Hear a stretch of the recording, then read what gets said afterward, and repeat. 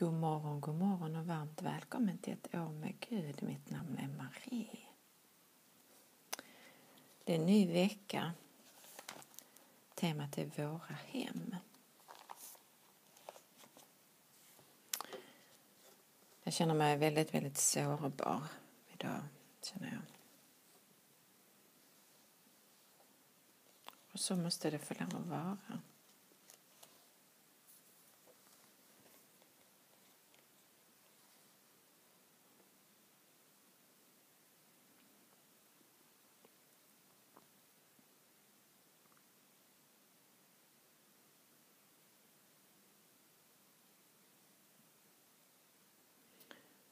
Tänker att de allra flesta människor kanske ser på sitt arbete eller sitt tjänande på något sätt om man håller på med någon form av ideell verksamhet. Att när jag är där så måste jag vara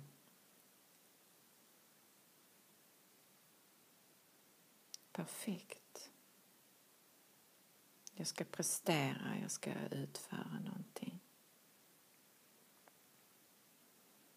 Där ska jag inte visa mina känslor utan där ska jag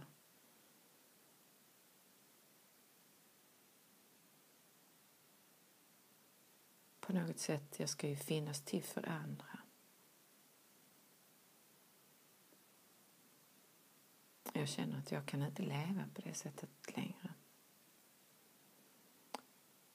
Jag tänker att det viktiga för mig är att vara den jag är. Vare sig det är i mitt arbete eller min, mitt tjänande eller med vänner eller med kunder eller vad det må vara.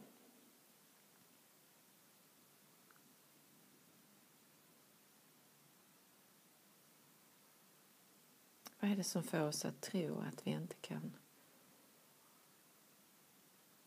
utföra en arbetsuppgift eller finnas för en annan människa? När vi till exempel själva befinner oss i en sårbarhet.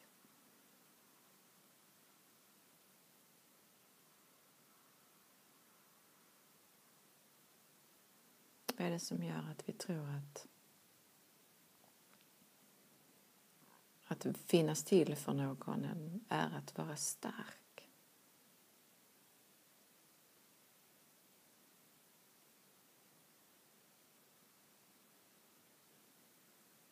Att lägga de egna känslorna åt sidan.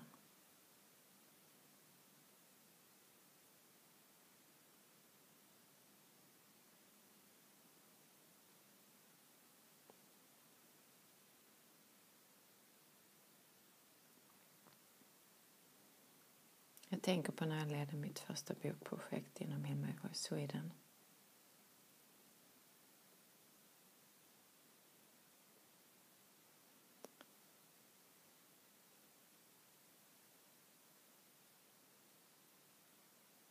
Då visade jag upp ett väldigt, väldigt sårbart och mycket personligt ledarskap. Och jag tror att det är det som de allra flesta tyckte väldigt mycket om som gjorde att de var med i nästa bokprojekt också. Jag ställde mig inte utanför deras processer utan jag var en del av dem. Och jag tänker att jag som är den sortens människa som jag är. Djupt sensitiv och inkännande och närvarande i mina känslor. Hur ska jag någonsin kunna vila i den jag är? Om jag måste alltid framträda som någon stark och orubblig person. Hur ska jag kunna vara jag i en sådan tillvaro? Det går inte.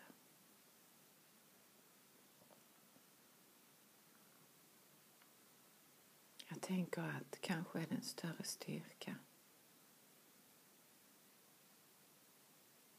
att komma här så som jag är, sårbar idag.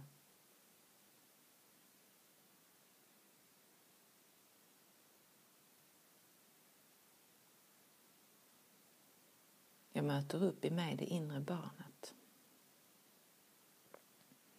Det har jag gjort många gånger och varje gång så så leder det, också, leder det också till en sårbarhet, en skirhet, en skörhet. En värnlöshet, precis som barnet, ett, ett barn är.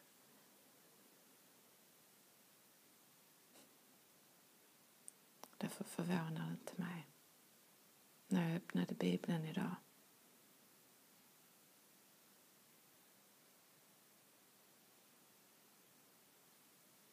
Det handlar om Jesus och barnen.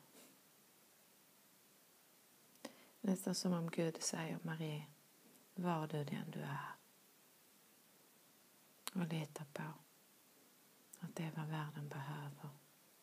Att du är du och att alla andra är sig själv.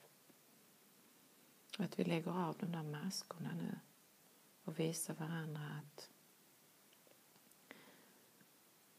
det går att vara sig själv och ändå utföra ett gott arbete. Det är det som är hållbart på sikt.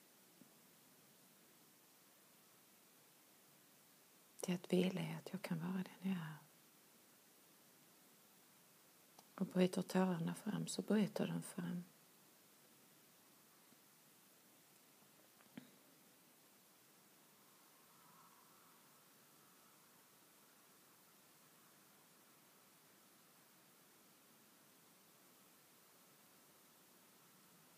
Jag tänker på hur jag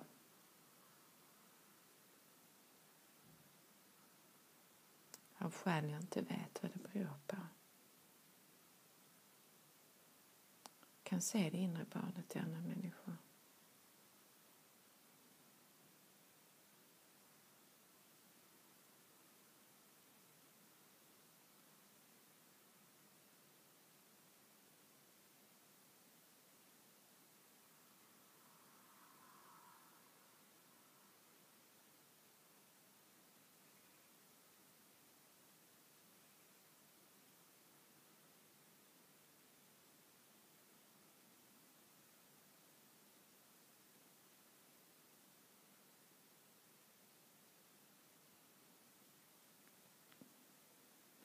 Inte gör att se det inre barnet i en människa.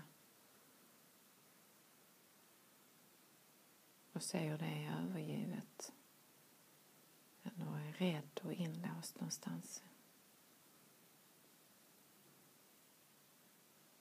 Och hur varsam man måste vara för att långsamt försöka få det barnet att kliva fram så att den vuxna människan kan ta emot sig själv. Därför friheten ligger där, när barnet tas emot. När det omsluts i kärlek.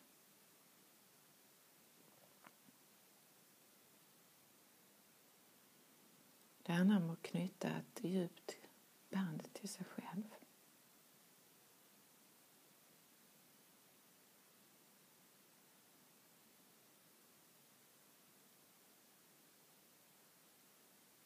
Jag tänker på hur jag själv har burit med mig en, en känsla i hela mitt liv som jag kanske aldrig kunnat sätta ord på och som jag har hört så många andra kvinnor uttrycka. En längtan efter anknytning, kontakt. Man använder ofta ordet kontakt och söker kontakt, vill vara nära komma nära en annan människa. Intimt i kropp och själ och ande. Att verkligen våga göra en djup anknytning till en annan människa. Och att det visar sig så ofta att det handlar om att anknytningen inte gjordes till föräldrarna när man var barn av olika skäl. Och hur djupt det påverkar en annan människa med en känsla av hemlöshet, ensamhet, övergivenhet, att inte känna sig förstådd, Som om den var ute och svävade i rymden någonstans och inte kunde riktigt landa i sin egen kropp.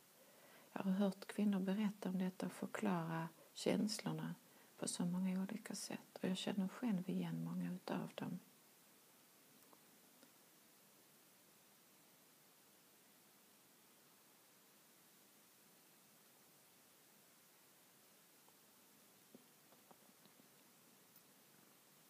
Jag tror att innan det djupa bandet kan knytas till en annan människa så måste man ha omfamnat det barnet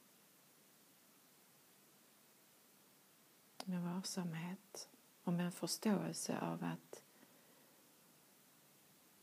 det kanske är ett, någonting som jag som människa måste förhålla mig till resten av livet och vara varsam med. Att de, det bandet inte knöts som litet barn och att det inte aldrig riktigt går att ersätta. Att jag måste förhålla mig till det med varsamhet och ömhet för mig själv.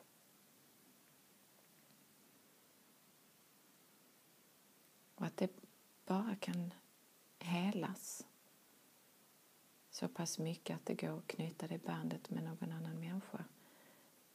Det helandet kan ju bara ske genom Gud. Jag kan inte säga att det skulle kunna ske på något annat sätt.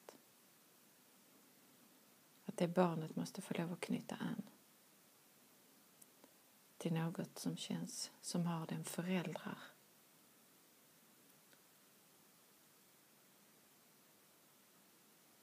det måttet av kärlek som bara kan finnas i ett föräldraskap. Och att det barnet därför behöver knyta bandet till Gud.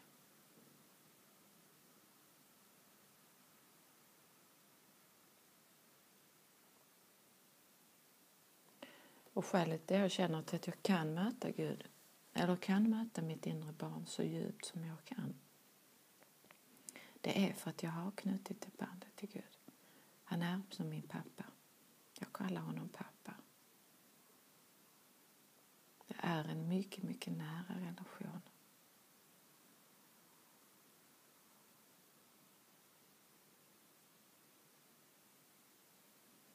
Det vackra i det inre barnet när man möter det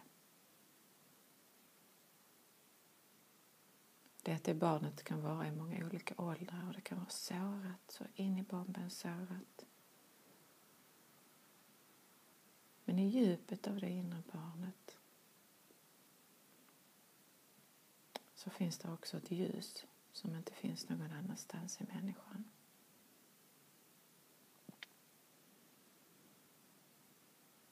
Och det framträder i relationen till, till Gud. När det barnet möter Gud. När hon vilar i hans kärlek.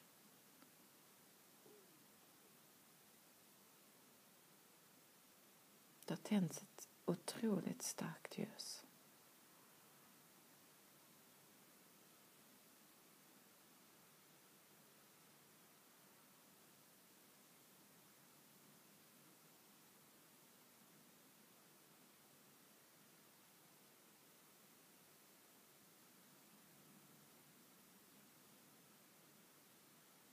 Jag tror att varje människa, vare sig man har haft anknytningsproblem som barn eller inte, så tror jag ändå att i djupet av varje människa så finns det en längtan efter Gud att knyta band. Men om man, in, om man inte har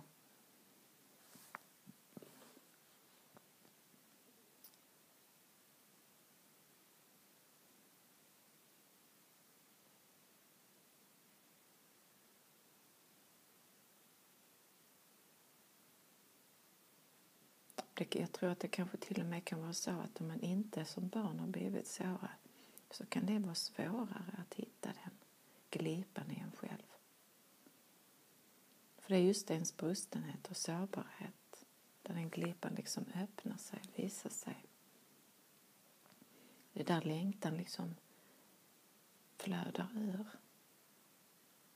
Men om man har en väldigt god relation både till sin mamma och pappa då riktas den längtan mot dem. Men det finns också ett stråk som inte heller mamma och pappa, hur bra och goda de än är, det finns ändå ett band som inte kan knytas med dem.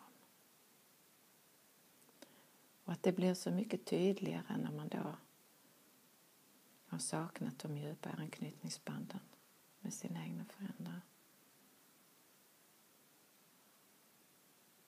Då blir det, en, blir det ännu tydligare.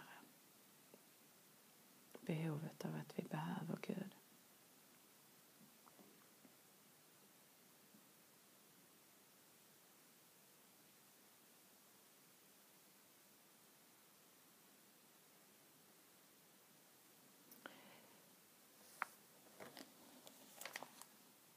Våra hem. Mm. Brukar ju, jag har hört många människor säga det och jag har själv uttryckt det rent spontant att när jag mötte Gud första gången eller när jag mötte den kärleken första gången så vet jag att jag sa att det var som att komma hem. Att det är liksom det uttryck som spontant kommer, att komma hem. Och likadant när man känner sig hemma i sig själv. Att jag har kommit hem, också i mig själv. Jag känner mig hemma i min kropp och min själ och i den identitet som jag börjar forma om vem jag faktiskt är.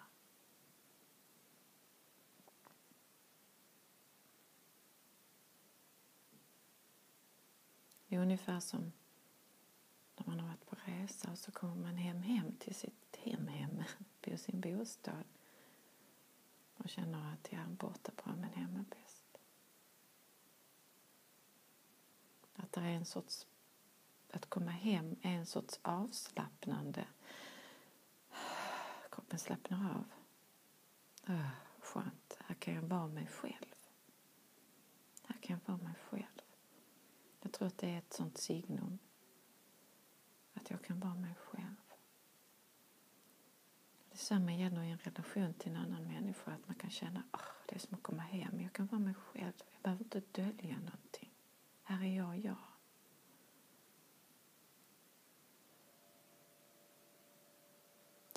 Markus evangeliet 10, 13 till 16. lyder så här.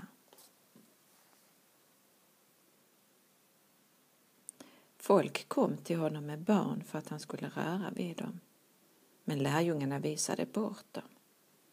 När Jesus såg det blev han förargad och sa Låt barnen komma hit till mig och hindra dem inte. Guds rike tillhör sådana som dem.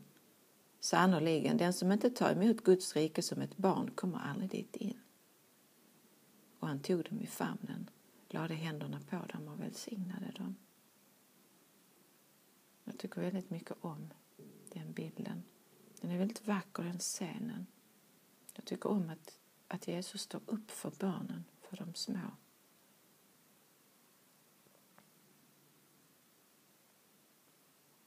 Sannerligen den som inte tar emot Guds rike som ett barn kommer aldrig dit in.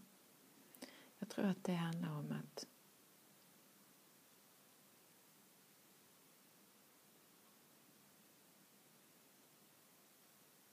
om jag inte kan ta emot Gud som en förälder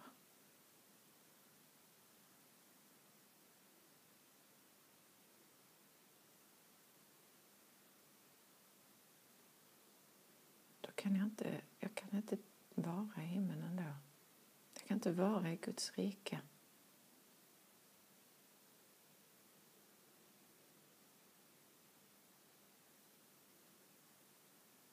Om jag inte kan kapitulera ner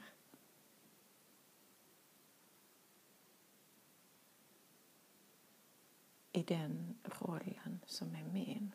Att jag är ett barn. Det spelar ingen roll hur vuxen jag är. Jag är ett barn inför Gud. Om jag är fyra år, 50 år eller 90 år spelar ingen roll. Jag är ett barn inför Gud.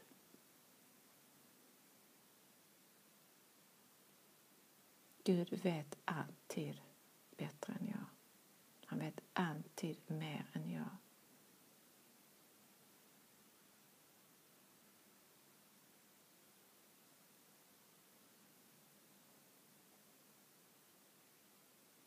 Om jag inte förstår det utan vill hävda min jämställdhet och jämlikhet med honom ja. Då finns det ingen plats för mig i Guds rike. För det är precis det som skedde i begynnelsen. Det var precis det som gjorde att en, en av de största änglarna, en ärkeängel, blev utkastad. Ondskan. Det var just därför. För att han jämställde sig med Gud.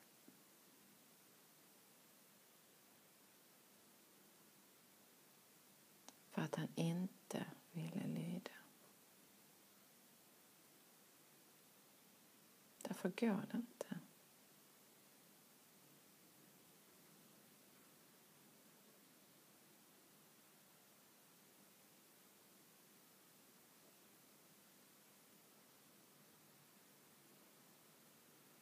Jag tror att jag vet bättre, än du har jag, kan inte ha en plats i Guds rike. Det går inte. Då har jag inte förstått.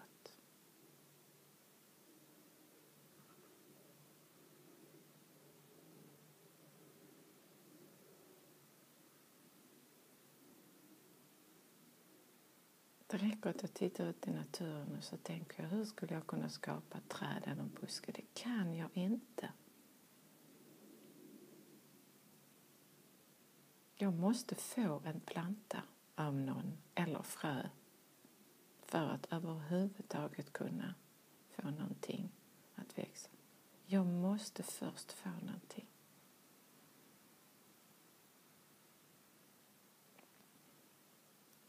Jag måste få en spermie för att kunna i min kropp skapa ett barn. Jag måste få en frö, ett frö eller en planta, till exempel från en tomatplanta för att jag ska kunna odla och ge den vatten och näring och liknande för att kunna få tomater. Jag måste först få någonting. Om jag inte har fattat det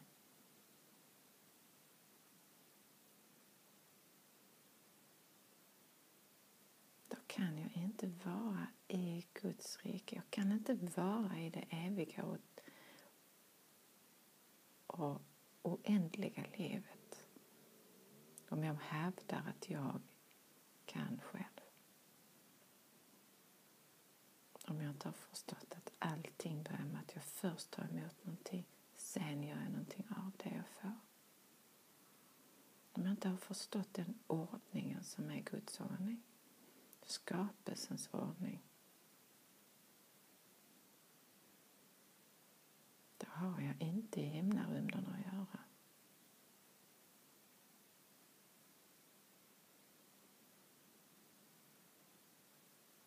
Och det är vad jag tror Gud och Jesus säger här. Låt barnen komma hit till mig och hindra dem inte. Guds rike tillhör sådana som dem. Barn förväntar sig att de ska få. De förväntar sig inte att det är de som ska skaffa mat. Att det är de som ska fixa middagen. De förväntar sig att de får det de behöver.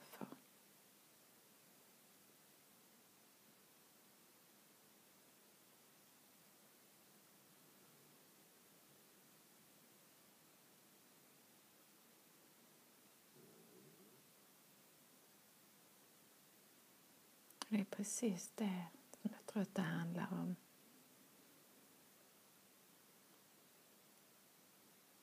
Och det är det som det inre barnet bakom allt det sårade längtar efter. Det är att känna det, och att inte oroa sig för morgondagen, som Jesus säger. Vardagen nog med sitt bekymmer.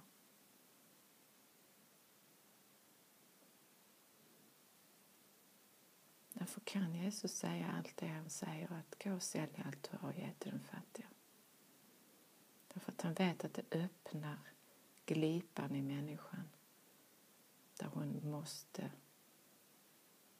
ta emot det faktum och den sanning att hon är totalt beroende av Gud. Och den blir bara så fysiskt påtaglig just när du inte kan. När du inte har någonting att själv köpa för. Då blir det så synligt. Då blir det så tydligt. Men så länge det finns pengar så får du oftast illusionen att, att du visst kan klara dig själv. Men det kan du inte för att det är fortfarande så att den mat du köper är det någon annan som måste ha fixat. Någon annan måste ha odlat den och någon annan har kört den med en bil. Så det är bara en illusion. Fortfarande lika beroende, det är bara att du ser inte hela kedjan.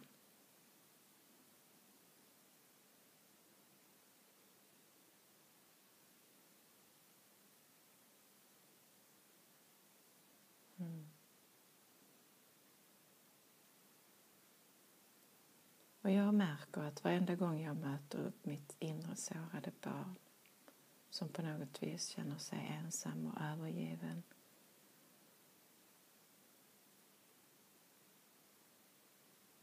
då blir det också så uppenbart för mig hur jag vill att det bandet hur jag verkligen längtar efter att djupt knyta an till Gud och verkligen känna att att livet strömmar från honom in i mig och att han ger mig allt jag behöver. Sen kanske det ibland kommer förpackat genom människor. men jag känner det att där ligger friheten. Den djupaste formen av frihet ligger i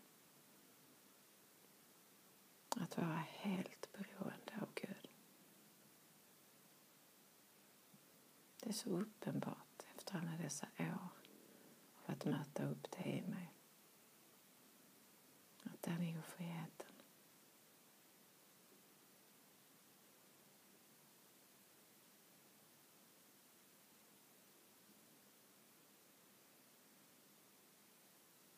Att verkligen vara som ett barn inför Gud och förvänta mig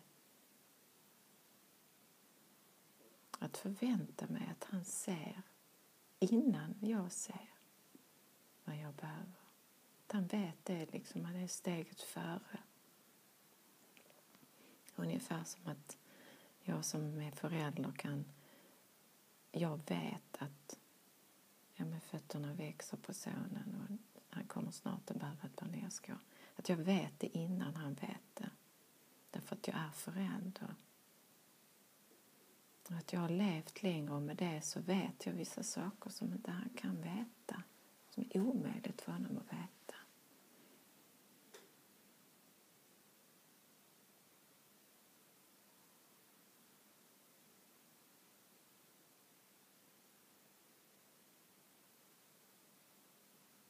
Mm.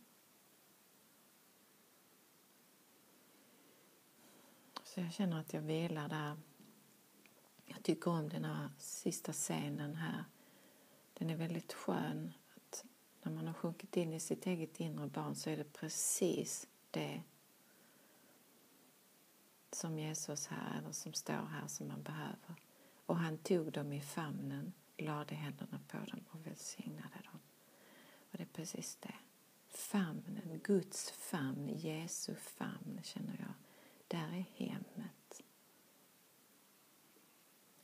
Komma in i famnen hos Jesus eller komma in i famnen hos Gud som Fadern. Det är att vara i hamn, det är att vara hemma. Han tog dem i famnen, lade händerna på dem och välsignade dem. Och det är precis det. Att krypa in i hans famn. Känna hans händer som lägger sig liksom på mig. Och så känna välsignelsen det är att komma hem. Mm. Tack för att du var med. Hoppas vi ses imorgon.